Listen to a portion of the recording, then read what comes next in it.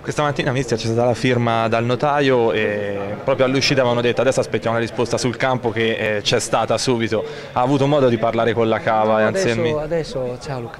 Adesso sono venuti dentro, però la, è tutta la settimana che mm, ci hanno passato messaggi positivi di, di, di qualcosa di, di, vero, di buono, di, una continuità. È chiaro per, per noi adesso diventa tutto, cioè chi ha, uh, chi ha, un contratto pluriennale diventa la possibilità di mantenerlo, chi è in scadenza si può giocare una possibilità. Sono tutte motivazioni molto forti e poi siamo di fronte a una cosa storica, noi stiamo facendo una cosa assurda. Non ha, non ha, forse con gli anni ci, ci, ci, penseremo a quello che stiamo facendo, quello che sta facendo questa squadra e quello che ha fatto tutta la città di Arezzo, veramente tutta la città.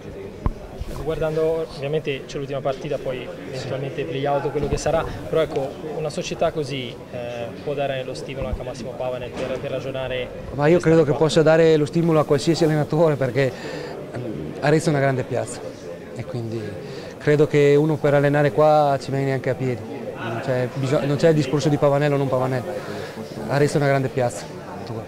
Da quel comunicato che leggesti il sabato in sala stampa oggi, chiaramente ancora manca l'ultima partita che sarebbe la ciliegina sulla torta, ha raggiunto l'obiettivo. Com'è scattata quella molla nello spogliatoio? Che mesi avete passato? Ne approfittiamo visto che ci siete qui ora in questo momento perché insomma, di giocatori non ne sono venuti tanti rappresentativi a parlarne.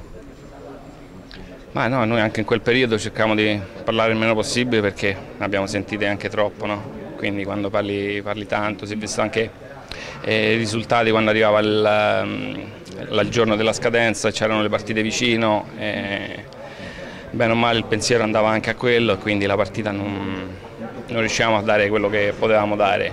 Eh, e niente, il senso di responsabilità che ha avuto un gruppo intero, grazie anche a al lavoro che è stato fatto da, dal di fuori, dai ragazzi che ci hanno sempre sostenuto in curva, e sono sempre venuti anche fuori casa, quindi anche, anche per loro è una cosa che ci ha unito tutti e tutti insieme stiamo inseguendo questo sogno che sarebbe veramente la ciliegina sulla torta perché ce lo meritiamo eh, tutti a partire da, da, noi giocatori, dallo staff e, e soprattutto anche i tifosi.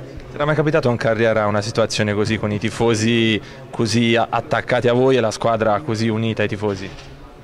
Beh sì, però quando, quando c'erano risultati cercavi di, di, lottare per qualcosa di più importante, anche se nella mia carriera non è che ho mai lottato per, per chissà quali, quali traguardi, eh, però sicuramente ehm, anche il saluto che abbiamo fatto oggi a pensare all'ultima del campionato dell'anno scorso che è totalmente l'opposto avendo anche 20 eh, punti di più non mi ricordo quanti quindi questo si vede da quello che, che, stiamo facendo, che abbiamo passato noi e che stavano passando loro quindi mi ripeto eh, sarebbe giusto per tutti finire in bellezza non è ancora finita ecco purtroppo tutto quello che stiamo facendo non dipende solamente da noi non dipende da noi sul campo, non dipende da noi sugli altri campi e chiaramente non dipende da noi nelle aule giudiziarie, perché se abbiamo pagato noi devono pagare anche gli altri. Chiaramente... Scusa, eh, non serve, però aspettiamo tanti tifosi a Carrara, che dici? Per finire in bellezza. È chiaro.